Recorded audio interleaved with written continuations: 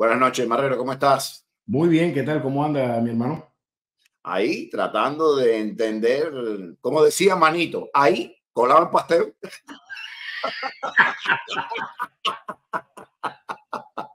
Estoy tratando de entender, eh, tratando de entender y que los amigos entiendan hasta dónde llega este BlackRock. Quiero aclarar una cosa antes que tú empieces a explicarnos. Cuando uno eh, arroja luz sobre un grupo financiero, sobre una corporación, sobre un banco, sobre lo que sea, muchas veces lo hace con alarma para llamar la atención, pero no necesariamente en todos los casos es así. Ahora, el ciudadano debe saber quién está detrás del caramelo que compró el Jolly Ranchers, que son mis preferidos. Yo tengo que saber quién está detrás. A propósito, cuando pueda me lo busca ahí, que me interesa. ¿Quién es? ¿Quién, quién, al kilo, al kilo, al kilo. Oye, en la camiseta que tú te pusiste, ¿quién es? ¿Quién la produce? Mira, eso que tú nos dijiste en tu programa anterior, que habías cambiado el ajuar, el oh, vestuario. Oh, eh, americano, americano. Pero tú sabes por qué, porque lo sabes, porque lo averiguaste. En el mundo de hoy, tú coges una cosa y tú no sabes quién está detrás. Entonces, es importante que los ciudadanos estemos informados porque nuestro dinero, y tú lo sabes mucho mejor que muchos de nosotros, nuestro dinero, por poco y precario que sea, vale muchísimo. Si nos ponemos de acuerdo 15 personas en no gastar en tal lugar, sobre todo un restaurante comunitario, es Señores, el poder del ciudadano es ilimitado. No somos una masa de tontos, no necesariamente. Pero para eso tenemos que armarnos con la información, con los principios para manejarla y la sabiduría política para no hacer todo a veroco. Hay mucha testosterona y androgenona derramándose por ahí y así no se resuelven los problemas acuciantes de nuestra sociedad un poco más de materia gris y un poco menos de, de testosterona.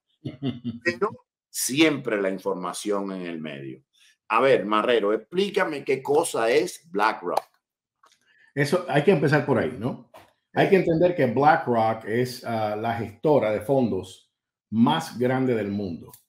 Ah, administra un total, fíjate, de activos bajo gestión de, estamos hablando de cerca de 10 trillones de dólares.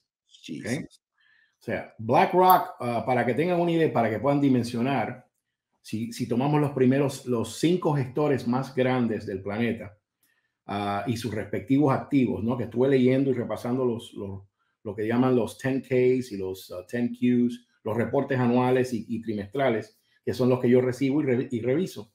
BlackRock, por ejemplo, tiene activos totales de aproximadamente casi 10 billones de dólares, ¿no? Eso es una fuente fidedigna.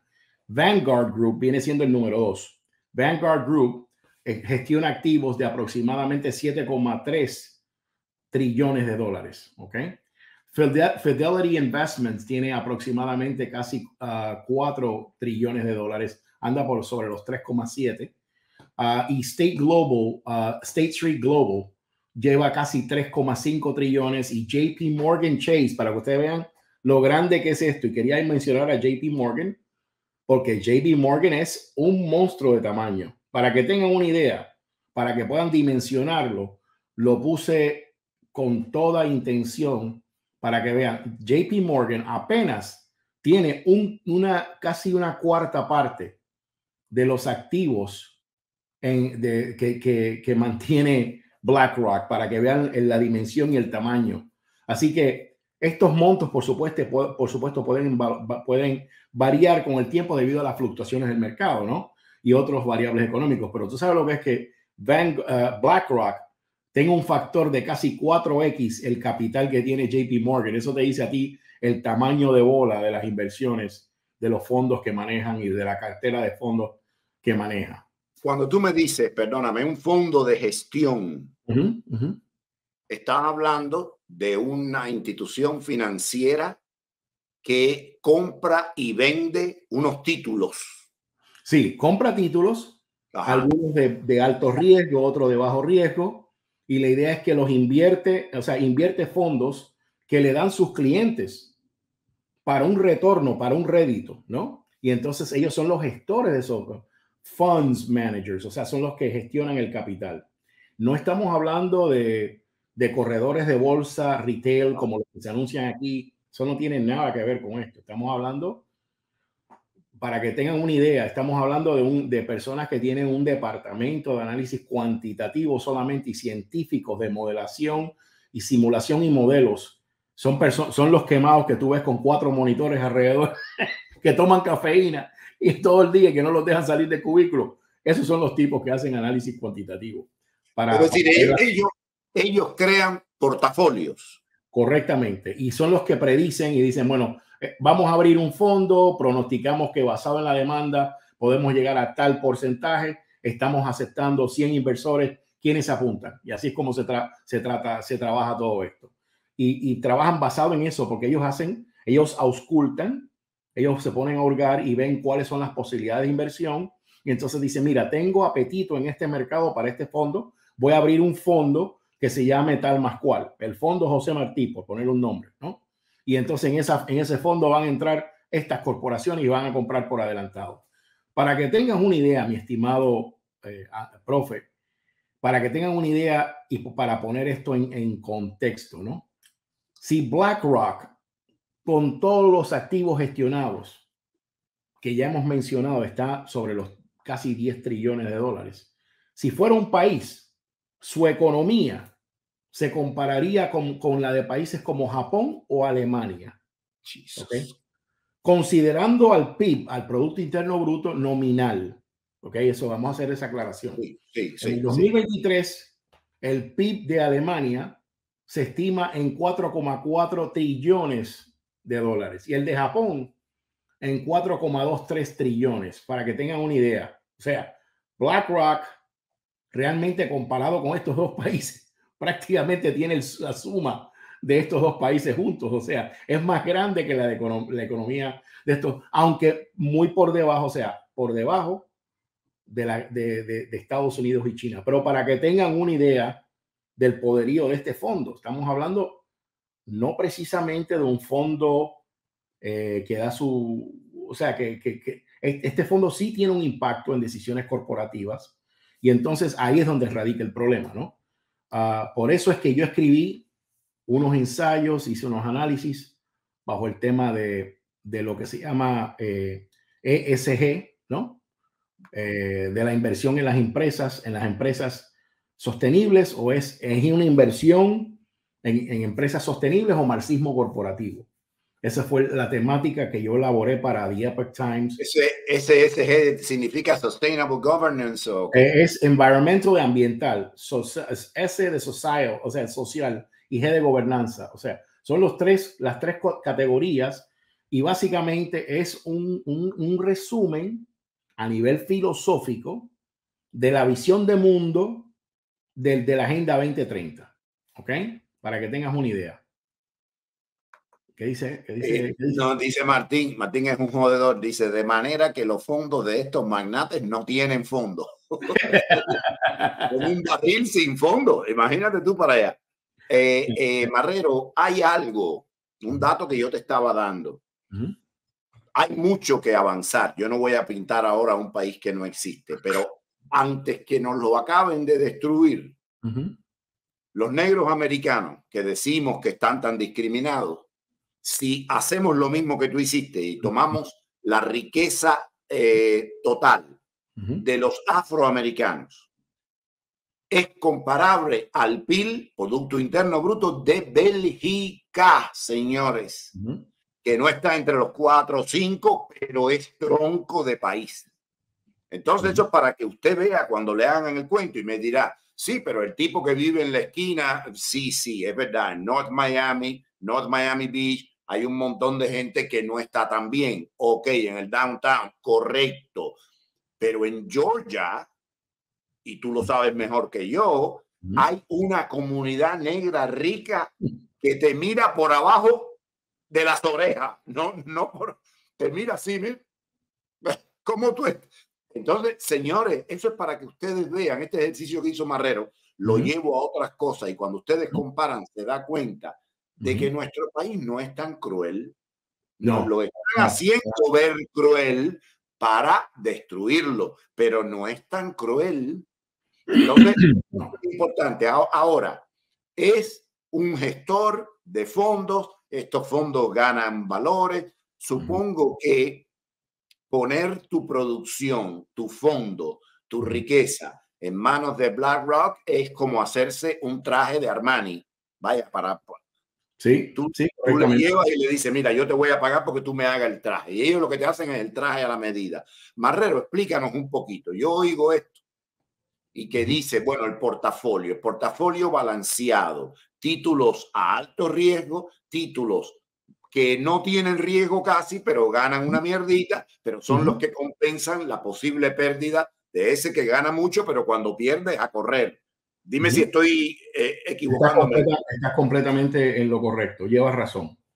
Pero, y perdóname que me salga de BlackRock, regresamos enseguida, pero dicen que según la edad debe variar tu proporción. Por ejemplo, mientras más viejo, menos riesgo, menos ganancia, pero duermes tranquilo. Cuando eres joven, más riesgo. Total, si pierdo siempre, señores, los títulos, a menos que la compañía quiebre, los títulos siempre van a regresar más alto de lo que estaban. Lo que pasa es que el que no tiene la edad para esperar dice, no, voy a perderlo todo.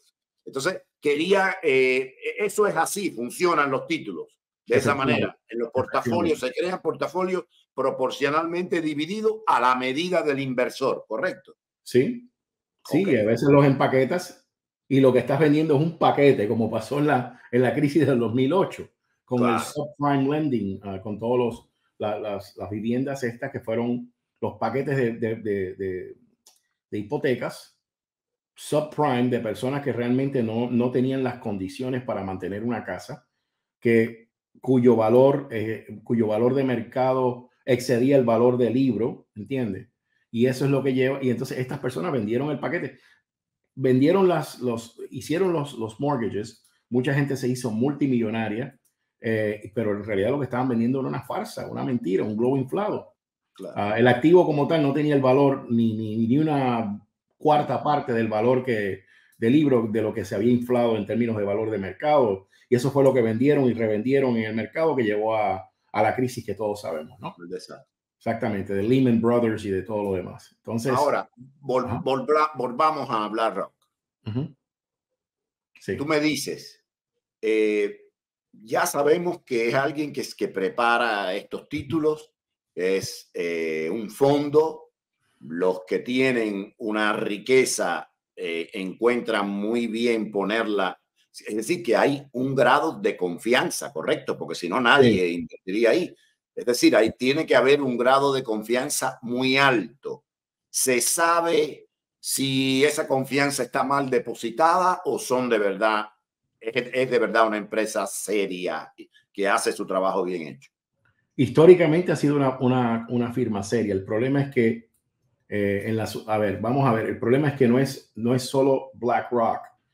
En las últimas dos décadas se ha popularizado la inclusión de objetivos medioambientales, sociales y de gobernanza, lo que llaman ESG, Environmental, Social and Governance, en todas las empresas para atraer inversores y de esta forma alinearse con la Agenda 2030. Lo que sucede es que el fondo BlackRock es el fondo hegemónico a nivel mundial. Es el más poderoso. Y entonces ellos han creído, ellos han creado uh, realmente uno, un estado de opinión donde las compañías les dicen, si tú, tienes, si tú quieres recibir fondos de mi banco, de mi cuenta, tú tienes que invertir en estos criterios ESG me está siguiendo a profe, porque esto, esto es fundamental. O sea, si viene una compañía donde a mí me dice, yo necesito, no sé, 10 billones de dólares en capitalización de mercado para la adquisición de estos activos y van, van a revisar todo el business plan y todo lo demás y van a decir, bueno, todo eso está perfecto. Pero aquí yo veo que tú no estás invirtiendo suficiente en, uh, en factores sociales como por ejemplo, no tienes un programa de diversidad, equidad, inclusión y toda esa mano de cosas. Tú no celebras eh, el día de transparencia transgénero cuando es el día de Pascua, etcétera, etcétera. Tú, por ende, no vas a recibir eh, los fondos que necesitas a no seas que te acates a esa ideología. Para ponerlo en términos de arroz con frijoles, para que entiendan lo que está pasando aquí, el fondo hegemónico a nivel mundial, que es BlackRock, el que tiene la capacidad de capitalización de mercado en activos el, al equivalente de Japón y Alemania, superior al de Japón y Alemania y casi al PIB de ambos países juntos, ¿ok? Que está en uno de los, si fuera país, sería uno de los países más, más ricos del mundo, o sea, detrás de China y Estados Unidos. Para que tengan una idea, esta gente le dicen, usted si quiere fondos de mi compañía, tiene que acatarse esta, a esta normativa. Tiene que implementar de arriba a abajo estas directrices. Usted tiene que ahora identificarse con las políticas de género. Usted tiene que contratar personas basadas en su color, en su religión o en su orientación sexual. O si mañana se levantan y se perfil, autoperciben como elefantes rosados, usted tiene que respetarlos. Porque eso es lo que es la política de género. ¿Entiende? Entonces, si tú no te acatas a esa visión de mundo, entonces no recibes fondos. Señores, esto es una forma de gangsterismo del burdo y a la cara. Estamos hablando a la cara, a la cara. Si tú no te acatas a esta visión de mundo, tú no puedes recibir fondos de Wall Street. Qué ironía de la vida. Anteriormente se dedicaban a robar bancos. Anteriormente usaban pasamontañas. Anteriormente robaban a bancos y luego se iban ocultándose a Cuba. ¿Ok? O mataban policías en las vías interestatales asaltando un tren, toda esa, toda esa mano de cosas. Hoy día los marxistas han descubierto que van a la mata, van a la mata, que es Wall Street. Y ellos cuando dijeron, Andrés, que iban a ocupar Wall Street, no estaban hablando de físicamente solo estar presente en Wall Street, sino en ocupar los fondos que operan en Wall Street. Los marxistas tienen algo muy, muy, muy que usted y yo lo podemos reconocer porque lo hemos estudiado, eh, algo que tienen muy en particular y es que anuncian todo lo que van a hacer. Lo declaran, lo decretan, lo manifiestan y desarrollan un plan quinquenal y la madre de los tomates con todos los periquitos. Bueno, el tema es que han ocupado Wall Street literalmente, no solamente en las protestas a inicio, sino que después, ahora están en las juntas de directores de los fondos de inversión más grandes. Y tienen ahora, obligan a las compañías del mundo a adoptar estas políticas. Lo más interesante de todo esto y el escándalo que yo tengo con todo esto es que nadie los ha elegido a ellos y se han convertido en un gobierno mundial. Ellos, el Foro Económico Mundial y la Organización Mundial de la Salud prácticamente están dictando la política económica, sanitaria, de gobernanza, de, principios eh, eh, ambientales y, y de cómo manejan las empresas. Es impresionante. Entonces, ¿qué sucede? te obligan ahora, eh, te, obligan ahora realmente, eh, Alburquerque, a tener estos, estos principios en tus compañías. Te mandan auditores, tú tienes que certificar, tienes que demostrar con documentación que tú estás invirtiendo en diversity, equity, inclusion, que tú estás que tú tienes un ministro, un ministro, le llaman un ministro de equidad otro de las calenturas de, los, de, la temperatura como la que tiene Levin en el Miami Dade con tremendo salario. Pero bueno, ahora las compañías le obligan a tener estos, estos gestores internos para promulgar estas políticas socialistas subvencionadas con nada menos que los fondos de BlackRock. ¿Y qué sucede? Pasa algo muy interesante. Tarde o temprano, tarde o temprano, ¿qué es lo que pasa con el socialismo? Socialism stops working when you run out of other people's money. se le acaba la plata. el billete y se acabó el proyecto socialista. Al principio, algunos en Cuba pensaban que aquello, dice, cuyo, que bacán, socialismo, dos Rolex, no uno, dos Rolex, dos Rolex que me faché. Al principio pensaba que todo eso iba a funcionar. Cuando empezó la escasez y empezaron a, a decir, ah, y los repuestos de las máquinas. Ah, y los ingenieros. Oh, espérate, y la materia prima para esto. Ahí fue que se le tragó la Catalina, porque el problema es que El socialismo no crea, lo que hace es consume y destruye lo que otros crean, las riquezas que otros crean. Entonces, ¿qué pasa? Se ha dado una contradicción con estos fondos y es la siguiente, ¿no? Porque en el capitalismo tienes que rendir cuentas, de esto estamos hablando aquí, ¿no? A los shareholders. That's right, a los shareholders. ¿Y qué sucede? Empieza a verse una trayectoria de decrecimiento y de falta de retorno sobre la inversión y de una inversión y, de un rédito negativo de todos estos fondos. Entonces, fíjate, eh, se ha puesto muy de moda este tema de la ESG, que están todos alineados con la Agenda 2030. Y entonces, ¿qué sucede? Que promueven la sostenibilidad, pero en realidad están perjudicando el rendimiento financiero y están socavando el mercado libre, porque no dejan que estas compañías operen de manera autónoma bajo las leyes de oferta y demanda y más bien las ponen bajo una ideología que tienen que seguir que es contraproductiva y que va en contra de los mejores intereses a nivel monetario de la empresa. Se toman decisiones basadas en los principios que se sostienen, no en los resultados que pueden obtener. Ahora, preguntaba Marta Es un mic drop y es para salirse para el carajo irme por la noche, ya, con lo que acabo de decir ya. Sí, dime, ¿quiénes son los dueños de BlackRock?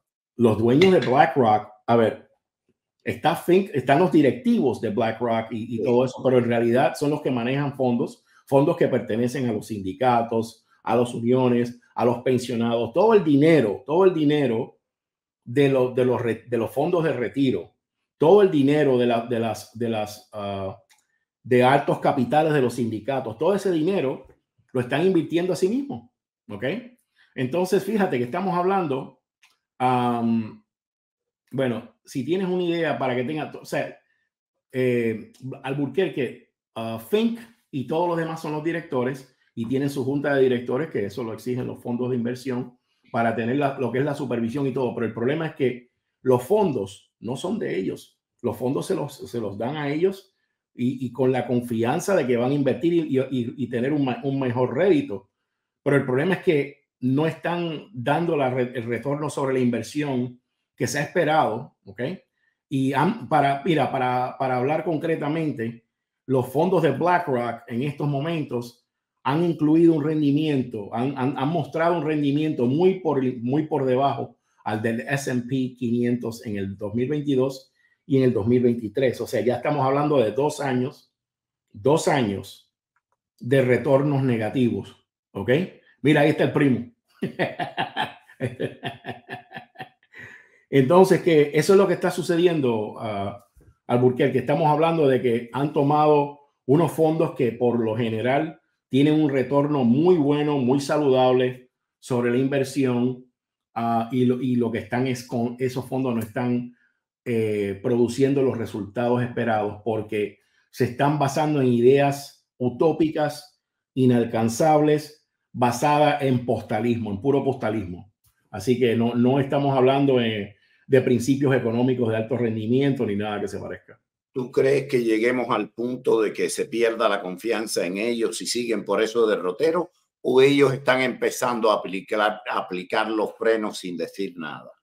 De hecho, ya están empezando a, recibir pushback de los grupos de inversiones porque han demostrado que las compañías que no, que no reciben los fondos ESG, ¿ok? Están haciendo mejor trabajo para sus, para sus shareholders. Y entonces ahí se están organizando fondos esto lo está utilizando la, competencia de ellos para decir, mira, olvídate de los locos estos que están invirtiendo en, en ESG y ven con nosotros que estamos invirtiendo en el futuro, ¿no? No por gusto vamos a invertir en una tecnología. Por ejemplo, es impensable tener que, que obligar a un país como Estados Unidos, que no es responsable por la contaminación ambiental ni por el 40% de la contaminación ambiental como es China, ¿no? Cómo pedirle a Estados Unidos que cambie toda su política energética porque los chinos están contaminando el planeta, ¿no? Eso es, eso es. Y ahora vemos el problema que existe con los, vehículos eléctricos, ¿ok? Eh, la gente se piensa que tú enchufas un, uh, un vehículo eléctrico a un adaptador de corriente y ya con eso, no, no, hay que generar electricidad, señores. Y esa, esa electricidad la genera que centrales que producen a base de qué? De petróleo.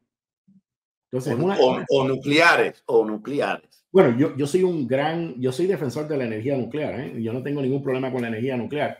Yo creo que es una gran forma, pero nosotros en este país no tenemos que, no tenemos que, que, que impulsar esas políticas contraproductivas porque desde el punto de vista económico, tanto el coste inicial como, la, como la, el, lo que es la depreciación de los activos, e, e, es muy difícil recapturar ese dinero. Definitivamente eh, no, no tienen retorno sobre la inversión que uno le gustaría y sobre todo la infraestructura es muy cara, ¿no? Es muy cara, demasiado cara para it's not worth the squeeze. O sea, no es, the juice is not worth the squeeze, como dicen en inglés. Sí sí, sí, sí. Eh, entonces, para que la gente lo tenga claro, porque quizás no lo lleve hasta el fondo, aquí no hay un dueño que empezó. Esto es un grupo que eligen quién, los shareholders mayoritarios, supongo, ¿no? Estas asambleas anuales o... pero, el, problema, el problema, Andrés, es que ellos se han autoadjudicado y esa es una de las críticas más, más grandes que han hecho de BlackRock, es que ellos se han autoadjudicado el derecho de votar por sus, por sus acciones para tomar unas decisiones en, en las juntas de ellos, en, las reuniones de la junta de directores y sin consultarle a los dueños de esas acciones. Eso es un problema, ¿entiendes? Tú tienes que consultarle al dueño cuando tú eres dueño de una acción. A ti te llega un reporte, ¿ok? Que te dice, este, estos son los valores, toda la información. Y mira, por cierto, aquí está el proxy para que puedas votar por lo que tú, por lo que tú crees y cómo se debe usar este fondo. Bueno, ellos se pasaron esa información por el arco del triunfo, ¿ok? Y votaron en grupo y en masa por ciertos fondos y por invertir este dinero en ciertos capitales, en, ciertos, en ciertas carteras.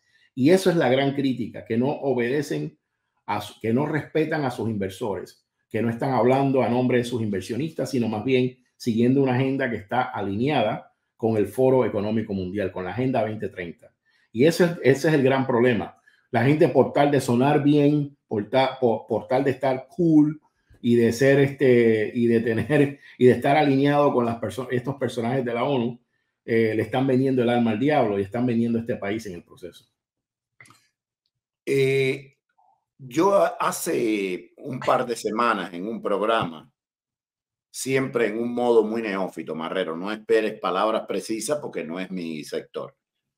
Pero yo estaba tratando de hacer una reflexión con los amigos de cómo yo veía en cierta medida, no solo es eso, pero uno de los componentes de cómo llegamos aquí. Y yo ponía como ejemplo al propietario de la primera empresa gigante para que yo la trabajé, el grupo Arpitur de Italia, que hoy por hoy es el único tour operador, cosa que a mí no me agrada, pero que de siempre fue el líder del turismo en Italia, especialmente outbound, mandando afuera.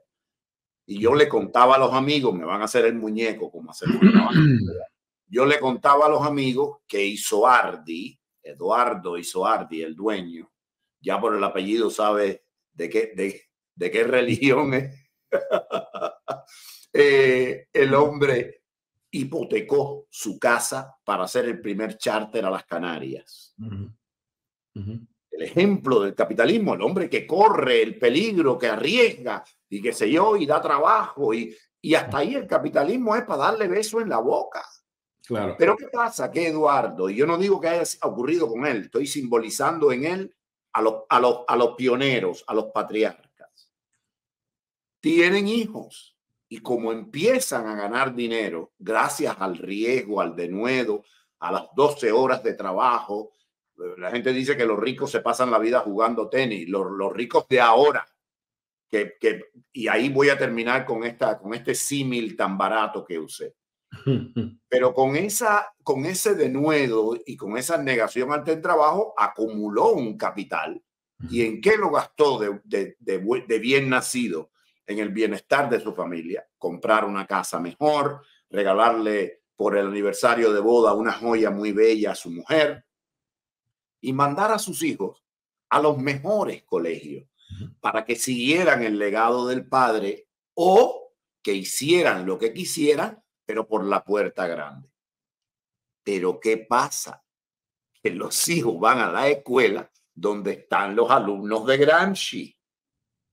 Y entonces ese hijo de ese capitalista, imperialista, de derecha, como tú quieras, le empiezan a meter un suero. El padre no llega a ese nivel de teorización porque se ha pasado la vida trabajando.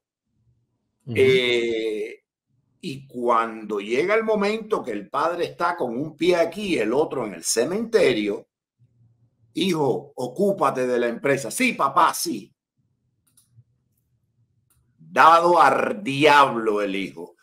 Eh, yate de no sé cuántos pies, tres amantes, eh, inclusion, equity, cool. Yo voto por la izquierda, brava no va a trabajar, se va a jugar gol, se jodió la empresa. Sí. Se jodió la empresa. O entonces él nombra a un CEO que no le duele nada, menos que a él todavía, que toma las decisiones según su ego personal, no por el bien de la empresa, de los inversores, de los trabajadores. Y es así que empresas se compran unas a otras van quedando simple monopolio. Hoy en Italia no hay casi turoperadores, como no hay casi aerolíneas en los Estados Unidos, donde tu país de aquí a Jamaica tenía cinco opciones. Y cada vez tienen menos y las que quedan, unas se están comprando a las otras, porque lo de Spirit y, JetBlue viene y en cuanto a, ocurra, América se la va a comprar a las dos. ¿Y qué, y qué pasa? Que habían tres compañías y una sola. Si Marrero está en la lista negra de América, a Jamaica tendrá que ir a nada.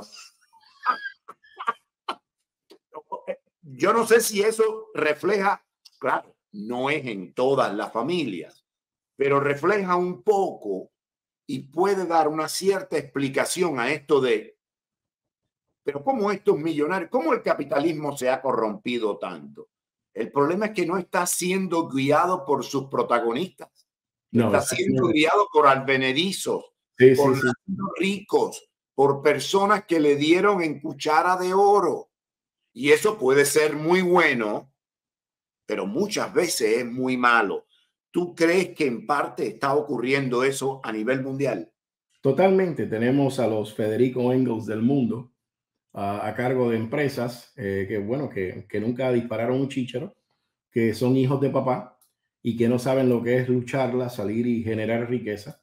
Y esas personas son las, las más espléndidas y open mind que dicen eh, ser los abanderados de estos principios. Pero fíjense, quiero aplicar un poco de profilaxis aquí porque deseo aclarar que no es solamente Rafael Marrero quien opina esto, sino que además mis colegas en diferentes investigaciones de diferentes universidades están de acuerdo con lo que acabo de señalar. La, la revista de la Universidad de Harvard, uh, Harvard Business Review, ha señalado que los fondos ESG presentan un bajo rendimiento financiero. Lo ha concluido en varios análisis. La Universidad de Chicago, el alma mater de mi economista favorito, Milton Friedman, no se encontró, eh, no se encontró que los fondos ESG superen en rendimiento a los fondos no, es, no ESG. Por otro lado, la Universidad de Columbia, fíjense que estoy, estoy pasando, desfilando por el Ivy League, ¿ok? La Universidad de Columbia y el London School of Economics sostienen que las empresas con enfoque ESG a la usanza de BlackRock mostraron peores, peores, peores rendimientos y resultados Ah, y, registros en normas laborales y medioambientales. Fíjate, no solamente pobre, rendimiento pobre, sino los registros. ¿Me, entienden? O sea, no solamente que el retorno sobre la inversión fue pésimo, sino que además los principios mismos que decían haber sostenido y, y apoyado eran pésimos en cuanto a lo laboral y medioambiental. Fíjate, anota Flora, anota, ok, el Instituto Europeo de Gobierno Corporativo sostiene que no se han observado mejoras en las puntuaciones ESG de empresas apoyadas por inversores institucionales, que es lo que es un BlackRock, que siguen los principios de inversión responsable de la ONU. Así que nananina, jabón candado, no funciona, ¿ok? Y lo dicen los, los principales economistas de las principales economías y no solamente este que he grabado de Stanford. Así que ahí lo tienen.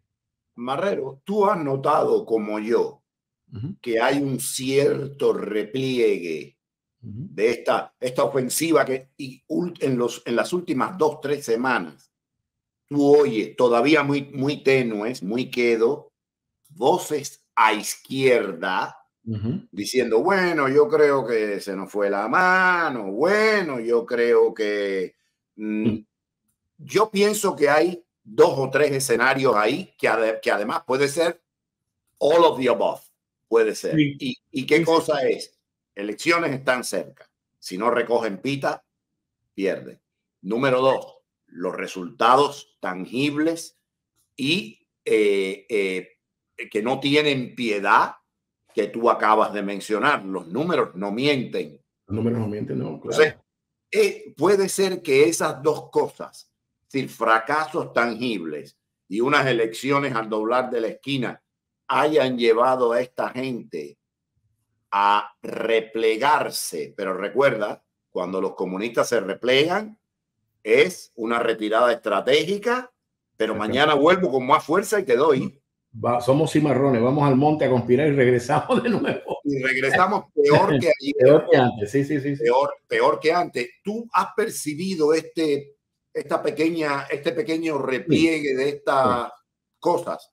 Eh, te, ha llegado, la gente ha hecho comentarios, que tú sepas. Mira, tan nefasto ha sido el funcionamiento. ¿Qué dice ahí la sociedad? Bueno, no sé. Bueno, eh, estamos, bueno, tan, tan, tan, pésimo ha sido el funcionamiento a nivel económico de estos fondos que muchos de ellos están empezando a, dar marcha atrás. Recuerde que muchos de ellos son los, los financistas de, de, varias campañas políticas. Entonces, en estos momentos no es, eh, es, es eh, digamos, conveniente para ellos tomar una, una postura mucho más conservadora. Ah, es que se les ha ido de la mano se les ha ido de la mano uh, al Burquerque, ¿ok? Se les ha ido de la... Realmente se, se, han apretado, pero de una forma... Lo que hemos vivido en los últimos cuatro años al Burquerque no tiene nombre, honestamente. Ya lo de este domingo de Pascua, ya eso para mí fue honestamente el, el principio del fin ya para con ellos. Entonces, estamos hablando de, un, de una administración que que tiene una política doméstica muy floja, demasiado floja, de, puro desvarío, que ha llevado prácticamente al endeudamiento a, todo nivel. Lo que estamos pagando solamente en intereses de esta deuda es sórdida, una sólida cantidad, que, sea, que prácticamente lo que invertimos en defensa, Hamburguerque. Exactamente, no tendrás nada y serás feliz, exactamente. Eso es eh, lo que están sosteniendo ellos. Pero fíjate lo que planteamos al principio de, este, de esta tenida, de esta velada, es que nosotros eh, vemos que, que realmente los marxistas han descubierto cómo es que le entra el agua al coco. Correcto. Recuerda la metáfora de que antes usaban las, las pasamontañas y todo eso. Hoy por hoy ya no tienen que hacer eso, porque han ocupado, no físicamente como hicieron al principio en las protestas, sino que literalmente han ocupado los fondos que manejan Wall Street, que son los que llevan el poder, los que determinan el curso. Se han dado cuenta que la mejor forma de derrotar al capitalismo, de desbancarlo, es infiltrándolo desde adentro. Y eso es exactamente lo que representan los fondos ESG, marxismo corporativo. Los, ah, les recomiendo, les hago un llamado a que lean el artículo que escribí ah, para Diario Las Américas y para The Epoch Times Ah, pronto estaré eh, publicando un ensayo con la revista Forbes sobre este tema que estoy puliendo que va a quedar muy sabroso. Hay una cosa, hay una cosa mm, eh, que es importante em, y es que hay una pasividad a derecha y yo tengo de nuevo dos escenarios posibles. o la derecha se está quebrando en sentido económico, es decir, estamos yendo en bancarrota, o los millonarios de derecha están vendidos. ¿Qué, qué, cuál de las dos tú crees o es both of, both of the? Andrés, los multimillonarios no tienen patria. Los multimillonarios tienen intereses. Tienen intereses transnacionales Por eso es que Tim Cook hoy por hoy y su compañía invierten todo, su, todo nuestro patrimonio y viven en, en, China y trabajan con Foxconn, tercerizan toda la producción de los dispositivos que, que tanto nos encantan a nosotros y de las computadoras que usamos. Esa es una realidad. Amazon es otro ejemplo, ¿no? Ah, la clase media realmente ha sido la clase media, la clase media americana, que es la que con la que se han ensañado durante los últimos cuatro años, la que quieren destruir uh, con, con, tanta, tanto impedimento para conseguir capital, para desarrollar sus... Los que son dueños de la pequeña empresa en este país son la clase media. Y, y, y ese, ese capitalismo, porque son pequeñas empresas, ese capitalismo es el que quieren, el que quieren destruir ellos para que exista un mundo bipolar eh, donde estén los extremadamente ricos y los consumidores. Pero Marrero, no quiero ser ahora eh, Julius Verne, ni mucho menos, ¿no? ni, ni Moriarty, el que escribió Fahrenheit. Pero en pequeño esta historia la vivimos. En grande será más cruel y más encarnizada hay un dicho muy salsero que lo cantaba el Gran Combo y es no hay cama para tanta gente. Sobre todo con los 10 millones que han llegado y no de la zafra. Cuando hay capitales, cuando hay ingentes capitales purnando y compitiendo con un capitalismo abierto, claro que siempre va a haber los que viven muy bien y los que vivimos menos bien. Pero como digo yo, eh, el taco al pastor ese que destila esa grasita. Con esa grasita nosotros nos basta. Mira, tú coges el pan. los essential oils. Esos son los essential oils. Y tú coges el pancito, ta, ta, ta, y tú dices, ¡ah! ¡Viva América! ¡The American Dream! Una casita con piscina que pasas la vida pagándola. Eh, ya con eso tú vives. Pero es que si no hay ni eso, mm tú dices, destruyeron la, clase media, pero tú mismo me has enseñado que esa clase media es la que tercia para los grandes. Sí. Los grandes no sabrían hacer el trabajo de esa clase media. Es decir, que están matando sus bases. Sí. Al final, ¿quién va a quedar? Dos, tres millonarios, como en Alemania hitleriana, Porsche, de la Mercedes, el otro y el otro. Los demás a tomar por saco. A tomar por saco ellos son tan imbéciles o tan encandilados por el dinero que no se percatan de esto o hay algo más? No, no, es lo que te digo. O sea, hay, hay, una, se han realmente, ah, se han montado en esto de la Agenda 2030 de la ONU. Ah, y recuerda que estamos hablando de una élite global, no solamente de aquí. Estamos hablando de fondos en Europa. Entonces, los fondos más ricos de los países más ricos del mundo tienen una componenda y están apoyando este fondo, eh, estos fondos ESG. Ah, estamos hablando de trillones de dólares a través del mundo de las economías más avanzadas y eso es lo que ha llevado esta política nefasta de destrucción. De, porque ni rinden ni hacen una cosa, ni, ni rinden, el, ni tienen el rédito que, que, se espera, ni tampoco cumplen con los objetivos. Además, cuando tú tienes algo, ah, eh, cada vez que yo escucho los nombres de los comités que forman, tiene un shero tan comunista, una hediondez. Sabes, diversity, equity, inclusion and belonging y la madre de los tomates, amén. Son unos títulos que parece que estás leyendo un comunicado del Partido Comunista. Es la misma, es la misma trova, la misma trova. Eh, ahora, bueno, gracias a Dios, fuiste que aquí eliminaron ahora el departamento de Diversity, Equity and Inclusion en FIU, le dieron tremendo bound ahora a buscar trabajo a, toda esta pila de vagos, porque realmente a eso es lo que hacen, ¿no? Mira, yo fui hace poco a una reunión del Departamento Federal de Transporte, Andrés, y en esa sala vinieron funcionarios del Departamento Federal de Transporte. Había quizás una docena de contratistas, de compañías. El resto eran todos burócratas, dándose, pasándose la mano por la espalda, y, y era un corte de cinta, un corte de cinta Andrés, aquello me pareció el típico evento de los militantes del partido, donde todo el mundo va a, repetir y como el papagayo, las consignas y todo eso, y realmente a quienes están sirviendo. ¿A quiénes está beneficiando? Realmente, ¿quién se está beneficiando?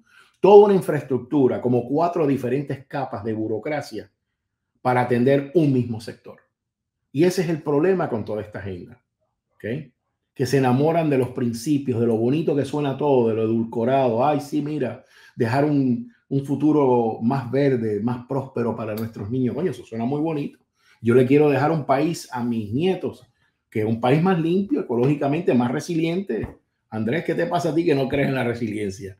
Entonces, entiende, mañana te tocan más para que vaya, mira, a cortar caña también. Y tienes que hacerlo. Y nos están llevando precisamente a un, lo que llaman un social credit, igual que al sistema que tienen en, en China. Las acciones nuestras, ahora lo políticamente correcto, si tú no haces, si no te comportas de acuerdo a las normas que ellos establecen, tú eres un antisocial, compadre.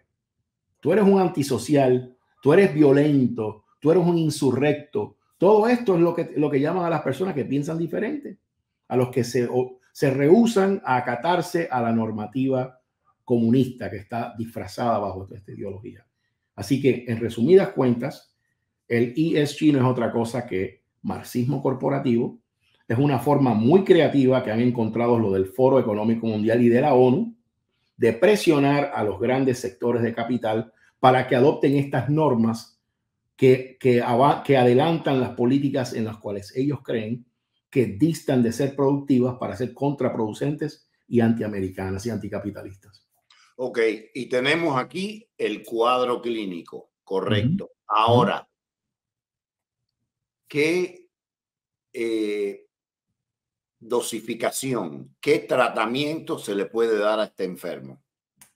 Bueno, mira, una de las cosas que yo les recomiendo a las personas es ir a, la, organizarse, así como yo digo que los padres tienen que ir a las reuniones de los, de los, de los concilios escolares para participar y ser hipermilitantes para reclamarlas, para retomar los concilios escolares, porque eso, eso es la semilla donde están adoctrinando a nuestros niños. Los dueños de acciones tienen que ir a las reuniones de inversores, tienen que estar presentes y tienen que protestar enérgicamente porque tienen que decir, mira, mi voto no se tomó en cuenta, esto se votó a favor, incluyó mi voto y a mí no se me consultó. ¿Ok? Es, e, e, eso es lo primero, tienen que, tienen que pedir rendición de cuentas, tienen que obligar a las compañías, yo invierto en esta compañía, yo te estoy dando a ti un dólar porque yo quiero sacar unos 50 o 2 dólares, no para que me dé 50 centavos. ¿Entiendes? Y eso es lo que está pasando, Andrés.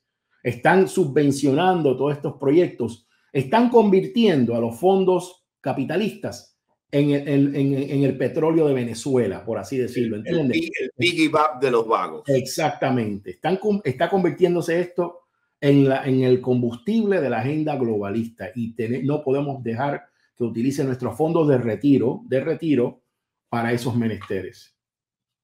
Y en los, eh, Marrero, que tú sepas, en los contratos, cuando tú te pones de acuerdo, tú te pones de acuerdo para darme el dinero a mí, para que yo lo mueva, el dinero es tuyo, tú confías en mí, no media entre los dos un contrato en el que se dan unas ciertas terms and conditions. bueno, lo otro que tú puedes hacer es definitivamente, por ejemplo, irte con Vanguard, ¿no?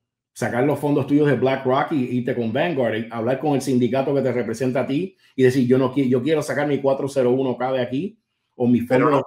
no, te penaliza. Bueno, moverlo, moverlo. Tú no estás cerrando tu fondo, o sea, tú, tú quieres moverlo. Tú no estás, tú no estás contento con el gestor de tu fondo, ¿ok? I got it. You're transferring. You're not, you know. So, no es que tú vas a sacar plata para quedarte con ella, ¿ok? yo, yo creo que aquí realmente hay que llevar a cabo una campaña de educación del consumidor de sus derechos. Tenemos que buscar abogados eh, que, que, se especialicen en esta materia y hacer una campaña de concientización sobre cuáles son los, las alternativas legales y los recursos. Yo no soy abogado, así que no puedo dar consejos legales. Eh, ¿Cuáles son los, los, los recursos que tienen a su disposición?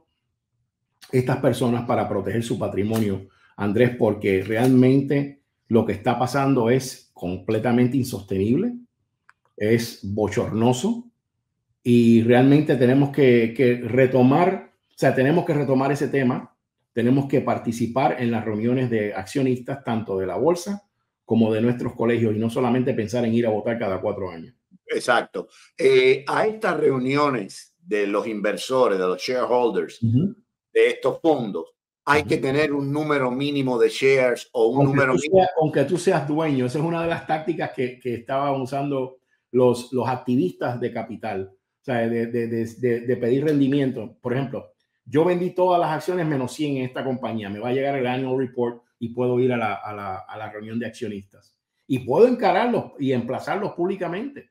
¿Entiendes? Y pedir uso de la palabra, porque yo tengo ahí, yo tengo que, ellos son mis representantes desde el punto de vista financiero y están, no están cumpliendo, están incumpliendo con su misión, porque están desviando estos fondos, empujando estas acciones que le están costando millones de dólares a las empresas en lugar de recibir ese dinero de retorno a nosotros. ¿Entiendes? Ese es el problema. Están montando todo este, toda esta fiesta, todo este, toda esta conguita de, de ideas mal gestadas que luego no dan el retorno sobre la inversión para el cual yo puse mi dinero. Ese es el tema aquí.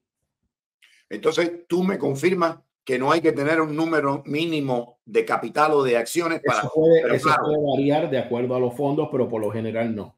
No, pero el viaje te lo tendrías que pagar a donde sea esta. Ah, no, claro, y yo, yo, yo llevaría un bus de gente. sí, porque cuando un inversor pequeño hay que llevar mucha gente con café cubano y con, y con y hay que llevar la planadora del Versalles también.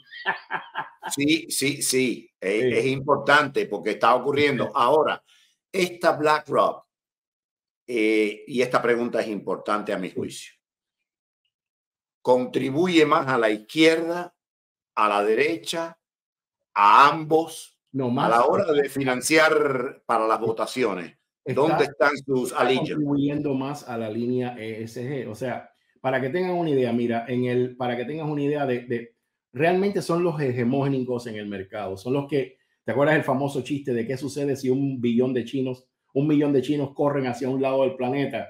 ¿Qué era lo que iba a pasar? Bueno, cuando BlackRock, cuando BlackRock uh, uh, pisa en un mercado, el, el peso es contundente, ¿entiendes? Entonces estamos hablando, fíjate, para que tengas una idea, eh, por aquí guardé unas cifras para que tuvieran una idea. Mira,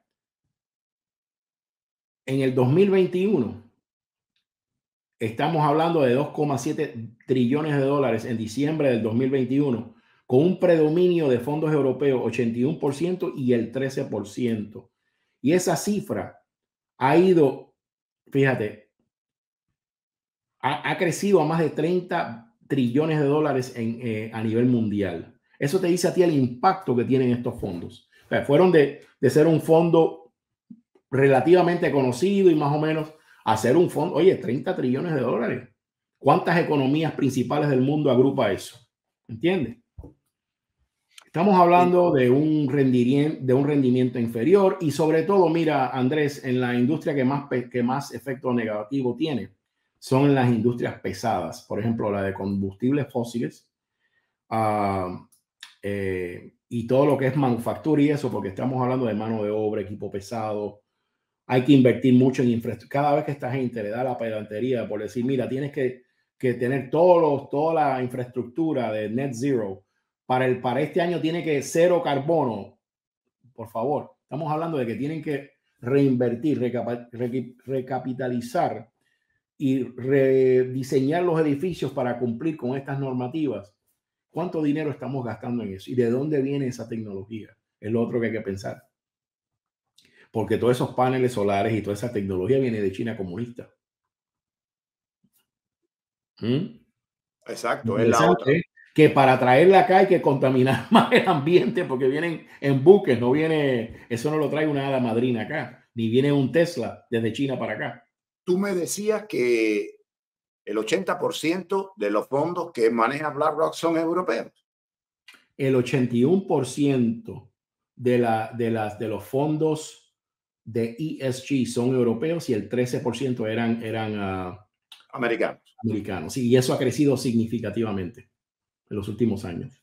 Ok, y el, y el portafolio en términos de nacionalidad, la procedencia de los fondos, ¿BlackRock es más americano, más europeo o internacional. es global, es una empresa global. Recuerda que que JP Morgan Chase, ah, imagínate que es número 5 en la lista, ah, es una empresa global, imagínate BlackRock. O sea, BlackRock es un es una, es un, es una mole. es una mole. O sea, es, una, es una, ya. Ok, bueno, entonces tú dices que los encontramos en casi todos los sectores de nuestra vida, desde las pensiones, 401ks, hasta las empresas tipo la Boeing, el otro, el otro, el otro, el otro. Ahí ellos son, ellos son copropietarios, han invertido ahí. Pero fíjate, ahí en, vamos a pausar por un momento para que tú veas cómo repercute la ideología marxista y ahora esto que estamos viendo en esto de la ideología woke en las Fuerzas Armadas. Boeing es uno de los principales contratistas de defensa de los Estados Unidos. Contratista militar, contratista de inteligencia, contratista para agencias civiles, ¿ok? No, con, fabrica bajo contrato proyectos que tienen que ver con la innovación y desarrollo, research and development, que nos ayuda a mantener la delantera estratégica. Si esta empresa, que es una de las compañías que más recibe de fondos como BlackRock, ¿ok? Um, hace trabajo con el Departamento de Defensa, adivina quién va a estar, o sea, el impacto que eso tiene a nivel del gobierno de los Estados Unidos también. Están, están siguiendo unos lineamientos filosóficos muy a la izquierda en todo el sentido de la palabra. O sea, para ellos es más importante alinearse con los preceptos de la Agenda 2030, ¿ok? Y ahora lo que esta administración está impulsando tras haberse reinscrito en el Acuerdo Climático de París, ¿no? Ese, ese desastre por el cual firmó este señor. Estamos hablando de una situación realmente, porque es una doble, es un doble, una doble penalty. Um, en fin, lo de BlackRock no es algo para tomarse a la ligera, es un fondo extremadamente eh, rico, tiene inversiones a través de todo el mundo, tiene implicaciones globales y realmente es el, es el, el gestor de fondos más grande del mundo. La última pregunta antes de despedirnos. ¿Tienen intereses ingentes, interesantes en el sector alimentario? Sí, totalmente. Por eso están comprando eh, cantidad de terrenos. Recuerda que todo esto de la, de, la, de la false, de la, lo que le llaman substitute meat, ¿no? Para, todo el sistema este agrario, para, para fabricar, para implementar eso, y eso es lo, lo contradictorio de todas estas mentalidades, tienen que destruir una cantidad de terreno para producir soya, por ejemplo, de lo que tú pudieras utilizar para, para ganado vacuno en este país. Y ahí es donde tú ves la contradicción del retorno de, de, la inversión. Por eso es que es tan caro un producto contra, versus el otro, ¿no? La cantidad de terreno que necesitas, la infraestructura que necesitas, cuando puedes generar proteína animal, ganado vacuno, a través de una forma más sostenible, ¿no? Alimentando bien con buen pasto a las vacas y no necesitas esa cantidad de, de, de acres y de terrenos que están utilizando ellos, pero detrás de eso hay una, una, una, una filosofía política muy alineada, ¿no? Eso sin contar las alergias que provoca la soya. Ay, por favor. Que se lo digan a los cubanos que viven en la isla, que le han dado de todo con soya. Sí. Y, y las alergias son terribles, pero bueno. Eh, Marrero, te agradezco muchísimo la participación. Yo creo que que ganamos algo en conocer a BlackRock, pero me doy cuenta que me falta mucho más porque es un pulpo.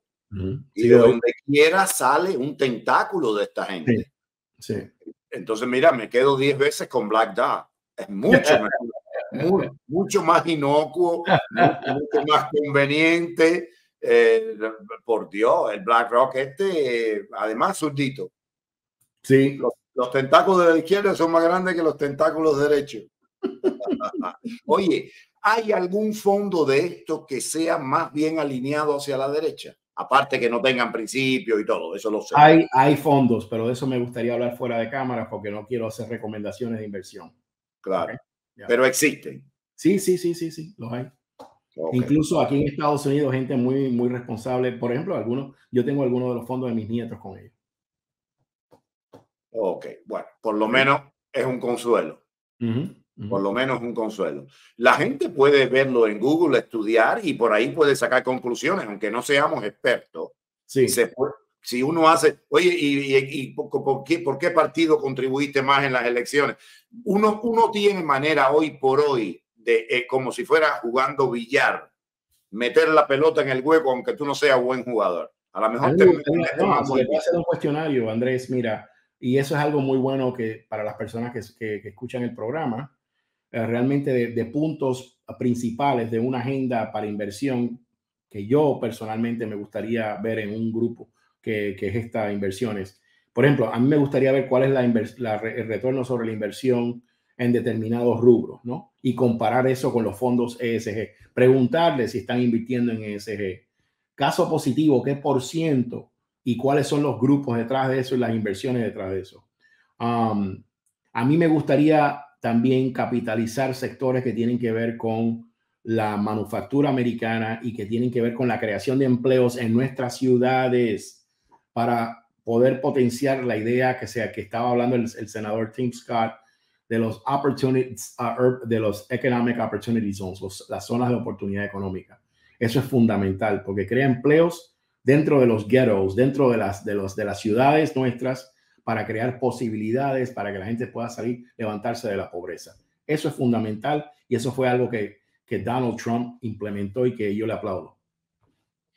Ok, Marrero, eh, gracias por la participación. Nos vemos en un par de jueves y vamos a ver que los comentarios de las personas aquí te están dando gracias por la explicación, que son temas de los que nadie habla porque no conviene, son temas incómodos, no conviene.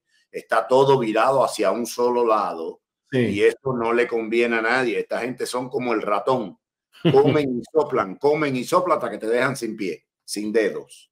Un abrazo. Te quiero, mi hermano. Cuídate. Bye. Cuídate. Bueno, tú